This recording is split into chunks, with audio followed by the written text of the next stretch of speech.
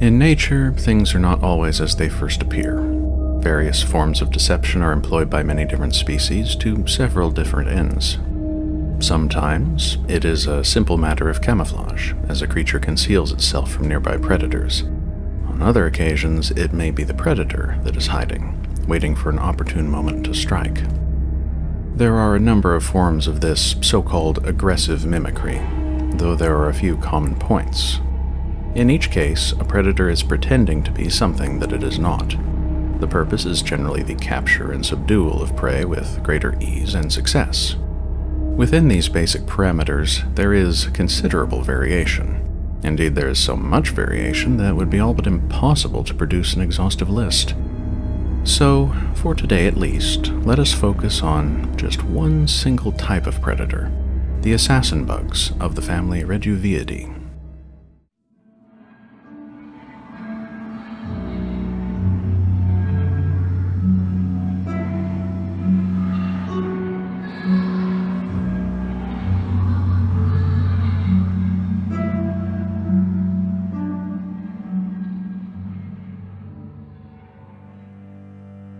The Reduviids are a group of so-called true bugs.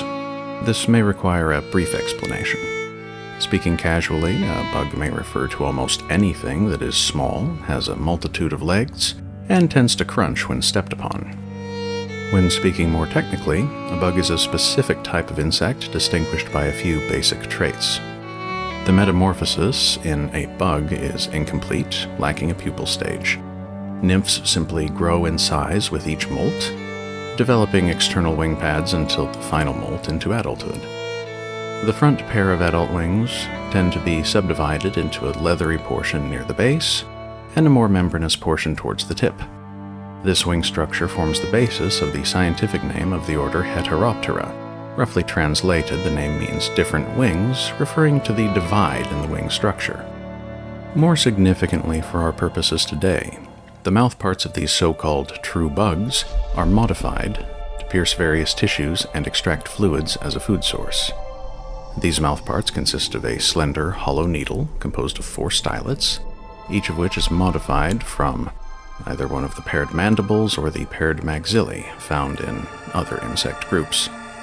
Maxillary stylets lock together to form a canal for extracting food, and another, sometimes smaller canal for injecting saliva. They are flanked on either side by the mandibular stylets, which aid in piercing the tissues of plants or animals to obtain the fluids inside. This small, relatively delicate needle is enclosed in a protective segmented sheath, which is itself made up of other modified mouthparts. The labium or lower lip makes up most of this sheath, while the labrum or upper lip comprises a relatively small portion towards the front. The entire elongated structure is sometimes known as a rostrum, or more casually called a beak. It tends to be tucked away beneath the insect body, extending backward from the head. It is typically brought forward during feeding, though it may also be used to deliver a defensive bite. In the reduviids, the salivary glands produce a series of toxins and digestive enzymes. When these bugs bite their prey, they inject this corrosive cocktail into the body. Most often, the initial result is paralysis, or at least a sufficient loss of neural function to render the prey entirely helpless. Over a span of several minutes, the prey's tissues are digested and liquefied, and then extracted. One rather venerable entomologist sometimes referred to this grisly meal as cold soup. Accurate enough, if perhaps a bit macabre. In any case, when the reduviid is finished, all that remains of the prey is a shriveled, desiccated husk. The largest known species of assassin bug is Psytalla horrida. It is a monstrous black bug with red markings, growing to nearly 2 inches in length. In addition to being able to deliver a bite more painful than a typical bee sting, this creature can spit venom as a defensive measure. A similar species of assassin bug, only slightly smaller, is Platymeris biguttatus. This species is recognizable by a pair of white spots on its back, and it has been studied in laboratory settings for a number of years now. While these rather large, cantankerous examples of predatory bug are impressive enough, they are not particularly subtle or sneaky. To find suitable examples of aggressive mimicry, we must turn to other species in this rather bloodthirsty family. A reasonable starting point might be the jagged ambush bug, Phymata americana. This species is most commonly found on flowers. Between the coloration and the somewhat irregular body outline, these bugs blend in with reasonable success. In fact, there is a considerable variation in color within the species, which appears to be connected to whatever flowers they happen to be inhabiting. Such variation makes classification something of a headache for the casual entomologist. While it is common for assassin bugs to use their front legs to grasp their prey, the ambush bugs have taken this a step further. The front legs are modified into grasping claws, reminiscent of those one might find on a praying mantis. Between these raptorial limbs and the venomous bite, the ambush bugs are capable of bringing down prey insects several times their own size.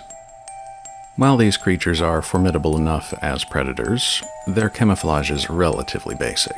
It serves them well enough, but there are far stranger forms of camouflage and mimicry to be found among the assassin bugs. One striking example is seen in the species Stenolemus bituberus. This is a species of thread-legged bug, and like the ambush bugs, this group of insects has four legs that have been modified into grasping claws. Apart from this feature, they look rather different.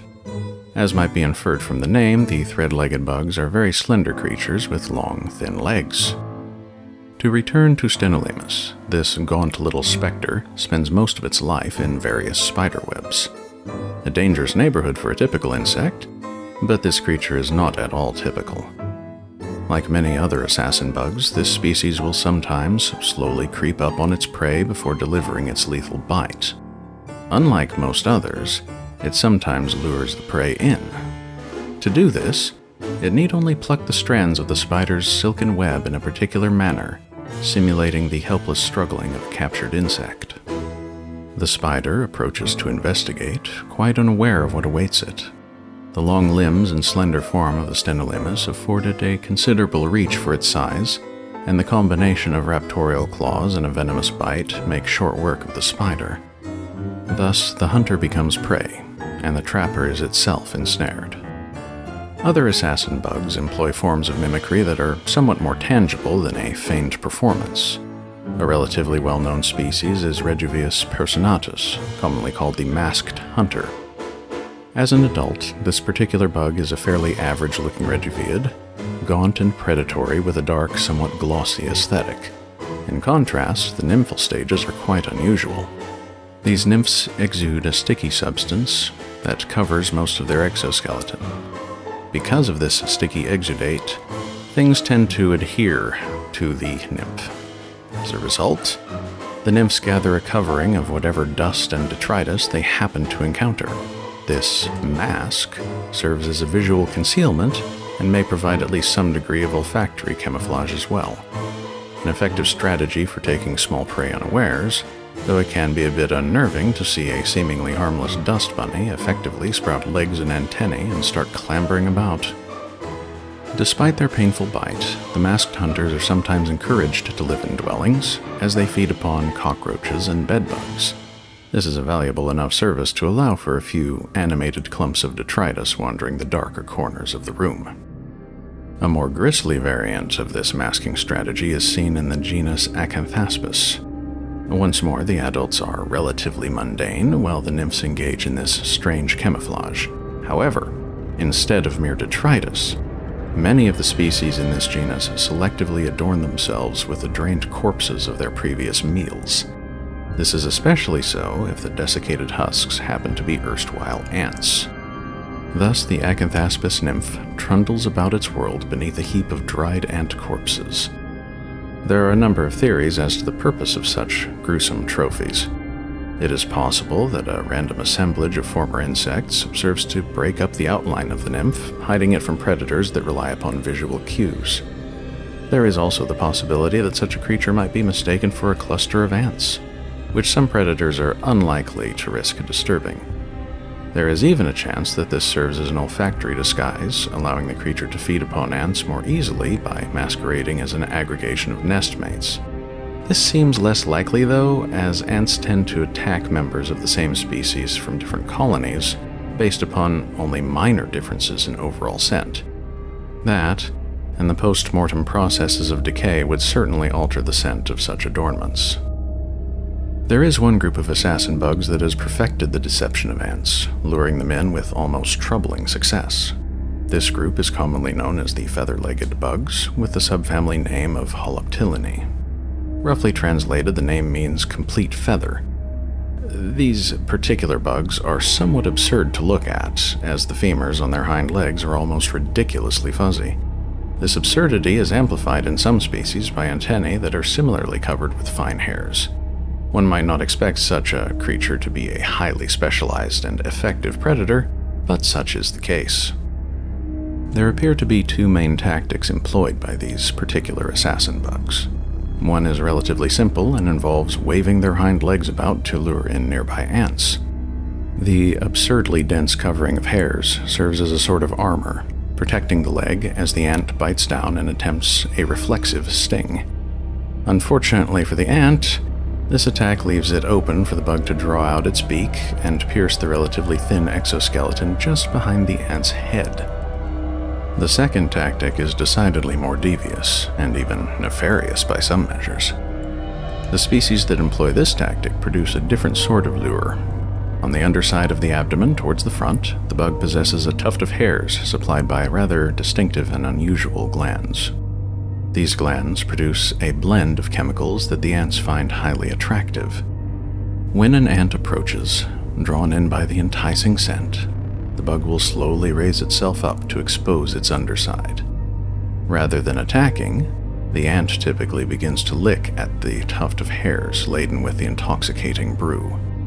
Very slowly, the bug will wrap its legs around the ant and extend its mouthparts. Soon, the ant begins to feel the effects of the bug's secretion as it becomes effectively paralyzed. Then, when the ant is altogether helpless and incapable of moving, much less fighting, the bug brings the macabre act to its close. The beak finds its way behind the ant's head, and the stylets pierce the thin exoskeleton to inject the lethal venom. As the ant's insides slowly liquefy, the little assassin feeds at its leisure, enjoying the cold soup of its drugged victim. Thank you for listening, and I hope you have enjoyed today's little foray into the unknown. If you are still curious and wish to venture a little further, here are a few things you might consider looking into. If you found this video enjoyable, do feel free to leave a like. If you believe others might enjoy it, by all means, share. If you wish to see more of this channel, a subscription should prove quite helpful. Until next time.